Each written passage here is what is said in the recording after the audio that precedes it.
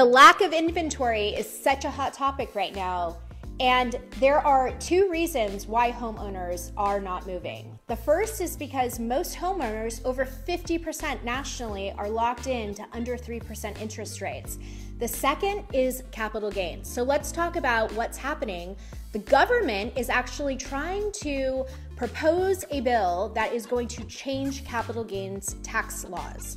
There is a Republican from Pennsylvania and a Democrat from California coming together to propose a new bill to help increase the limits of capital gains taxes.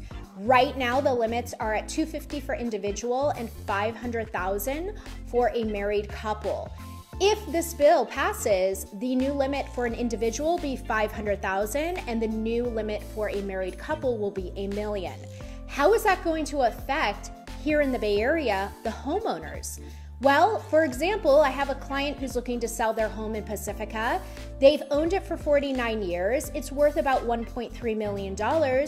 They're right now going to be hit on 700,000 for capital gains taxes whereas if this bill passes, they might only need to pay capital gains taxes on 2 to 300,000. That's a significant difference. Would love to hear your thoughts and would love to hear whether or not you've experienced capital gains taxes in in your sale.